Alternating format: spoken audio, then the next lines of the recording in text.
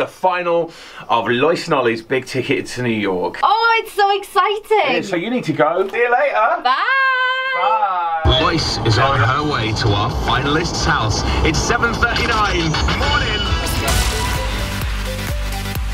I'm not going to actually say exactly where I am, but I'm on the way to surprise the winner of Lois and Oli's big ticket to New York with Hays Travel. Oh, it's so, so exciting. We have 10 finalists, but only one winner.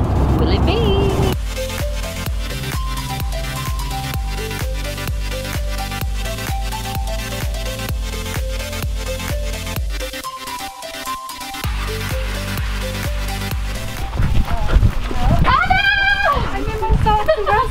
You have won! I'm so nervous. Oh my god. Anna, oh explain to Oli what's happened. Oh my god, Lois has just turned up. I'm stood in my dressing gown outside because I didn't think you'd turn up. Oh my god. Congratulations, oh, you won! Oh. Oh, thank you so much.